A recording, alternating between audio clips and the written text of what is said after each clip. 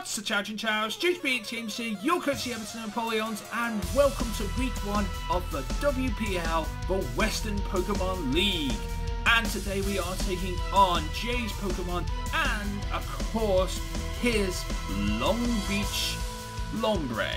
So his team are as follows. Victini, Togekiss, Krookodile as a Z attacking Mon. Um, Goodra, Seismitoad, Claydol, Mega Pinsir, Manaphy, Raikou as a Z attacking Mon, Linoone as a Z captain, and um, we also have Vileplume as well capping off the team. So it's an interesting little team here. I'm not sure about the uh, Linoone as the Z captain, but like defensive uh, moves like Z Belly Drum would be very, very scary to deal with. Of course, Belly Drum is very, very scary to deal with in the first place. So yeah, Z Belly Drum would be very, uh, could be quite scary.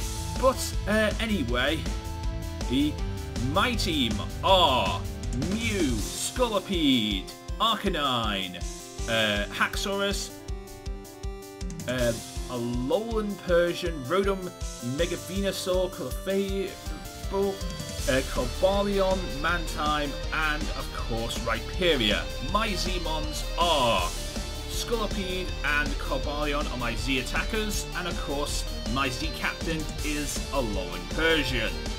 So I have uh, possible chances of things like see parting shot and stuff like that, I can work with, but I kind of like really. So those are the teams. Out of the six that we bought though, I bought Haxorus, Mew, uh, Scolipede, uh, Mega Venusaur, my Z Captain of um, Alolan Persian, and Rhyperior. And he bought Togekiss, Manaphy, Seismitoad, uh, Krookodile, Megapincer, and his Z Captain of Raikou. Uh, his Zmon of Raikou, not his Z Captain, but his Zmon. So yeah, this is an interesting team. I really like uh, I really like the idea of, the, uh, of both teams here. There's a lot of things to work with. Very scary teams. Mega Pinsir is oh my god, Mega Pinsir uh, Mega Pinsir runs through my team and there's not really a lot I can do about it. It is so fast and it has such a brutal attack stat and its aerial ability, oh, it's scary. It's scary as hell. But let's see what we try to do in the battle to help out with that. Uh, and see what happens, right? Okie dokie, so we start off, he starts off with his Raikou as I start off with Sophie the Wait. I actually do need the music on, otherwise you can't hear Pokemon cries. I thought you didn't need the music on. Let me start. Know, let, let's let's go on again. Okay, so he starts off with his Raikou whilst I start off with Sophie, my Alolan Persian. I go for the Protect to see what he is going to do, but he decides to set up a substitute, which is kind of annoying thing. And here I am uh, thinking, how am I going to get rid of this substitute? I parting shot to uh, remove the stats and go into Tank Abbott my Rhyperior. As he decides Toxic, and I'm thinking to myself, he could Calm Mind Sweep me for uh, being underneath the substitute, but he switches out into Seismitoad, and I go for the Earthquake, which does reasonable damage. Reasonable damage. He does have the lefties, which is kind of annoying. I switch out into Venusaur here. Uh, he goes for the Earthquake, which does a little bit damage, not too much. It is Mega turn 1, so I do have to Mega if I'm going to stay in. He goes back into his Raikou. I do decide to Mega and go for the Sludge Bomb, which does reasonable damage and gets the poison off. Again, kind of sorry about that, but, you know, it does happen. He goes for the Thunderbolt. He gets a critical hit on me and a Paralyze from the Thunderbolt. Doesn't do a lot of damage, but does do the damage. I do get the Giga Drain off, and of course, he's going to die to poison. Good work by Venusaur. Then he goes into his Pinsir. I'm switching out of that. I don't want to deal with that. I go into Tank Abbott my Rhyperior as he Mega Evolves into his uh, Pinsir and Swords Dances. I don't like that either. So I'm trying to get something done. He goes for the Earthquake, sadly he is faster and he destroys the hell out of me. I go into Turbo here, my uh, Scolipede, go for the uh, uh, go for the Rock Slide. He lives the Rock Slide and gets flinched. I really wish I'd packed Stone Edge actually, because Stone Edge would have killed. Goes for the quick attack, super effective. I eat my Colbur Berry, I live, and I take down the uh, Mega Pinsir with one more Rock Slide, uh, one more Rock Slide, and get the speed boost. He goes into Croak, as I go for the Mega Horn. It leaves him on 15%. Sadly, it didn't kill, and he kills me with Pursuit. Here I go into Alolan Persian as he switches out into his uh, uh, Seismitoad. I go for the Foul Play. Does quite a bit of reasonable damage to the Seismitoad. I was trying to go for it on uh, other Pokemon really. Here I go for the Z Parting Shot. Maybe I shouldn't have gone for this here.